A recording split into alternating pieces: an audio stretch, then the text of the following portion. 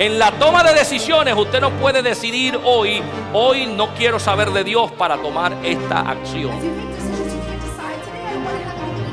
Porque si usted ha recibido a Jesús como su Salvador, usted murió a la vieja criatura. Murió al gobierno de Satanás. Murió al control de Satanás. Y vino a ser, y la Biblia dice así, esclavo de Jesucristo. Aunque la palabra dice, ya no te llamaré siervo, te llamo amigo, pero estamos sujetos a caminar junto a Jesucristo, junto a su palabra, a lo que Dios establece. O sea, que si es así, todo tiene que pasar por el sedazo de Dios en toda acción que tomamos. Porque ya usted no es controlado por el enemigo. Porque cuando hacemos la voluntad de Dios, que es buena, agradable y perfecta, me va a llevar al destino correcto, al lugar donde no me voy a arrepentir, al lugar donde voy no voy a tener ne- consecuencias extrañas, porque si Dios me dice, Dios respalda. Hello. El momento era un momento de el ahora. Esaú estaba cansado. Esaú venía del trabajo y estaba delante de él la toma de decisiones. En sus manos estaba tomar una decisión y Jacob su hermano vio una oportunidad y le vendió una idea al hombre que estaba cansado, que necesitaba algo en el momento y ahí capturó algo que le tocaba a Esaú y lo recogió Jacob. Dice Jacob respondió, viole la oportunidad, agarró la oportunidad y dice, véndeme en este día tu primogenitura. Escucha iglesia, vamos a comenzar por ahí.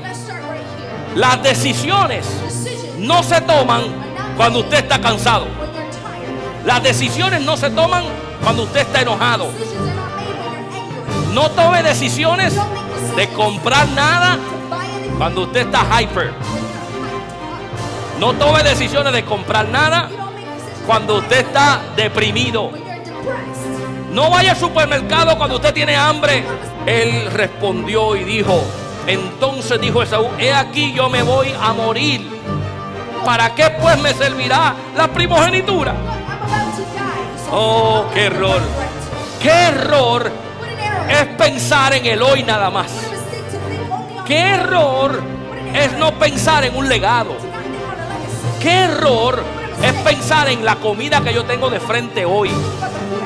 ¿Qué error es no pensar en la mayordomía que Dios te ha dado en tus manos? Es un error para nosotros, como iglesia de Dios, solo pensar en la barriga que me llena hoy y sin ser responsable en la necesidad que voy a tener mañana. Él pensó, ah, ¿para qué yo quiero esto? Si yo me voy a morir. ¿para qué yo quiero esto? Si a mí no me importa lo que va a pasar en cuatro años, si yo me voy a morir. ¿para qué yo quiero pensar en las consecuencias de esta decisión?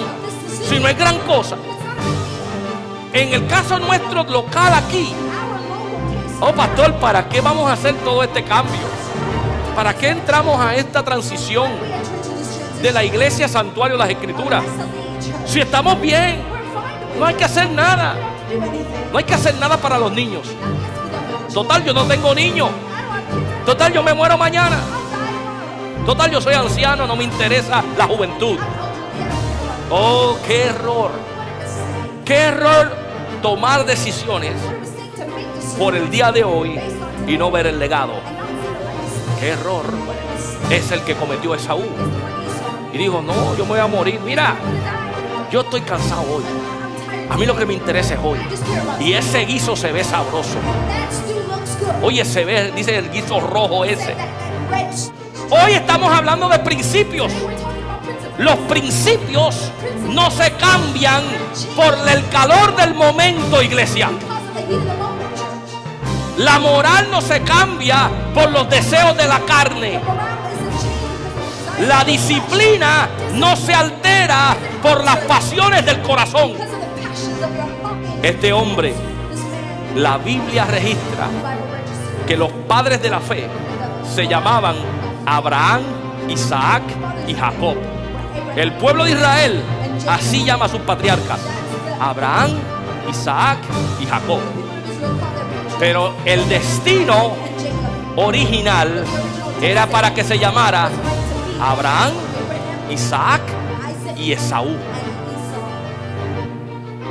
Y hoy Esaú queda totalmente fuera de la historia, fuera del legado, fuera de la bendición, por un plato de lentejas en el calor del momento, porque tomó una decisión incorrecta. Ah. Ya no más Abraham, Isaac, Esaú.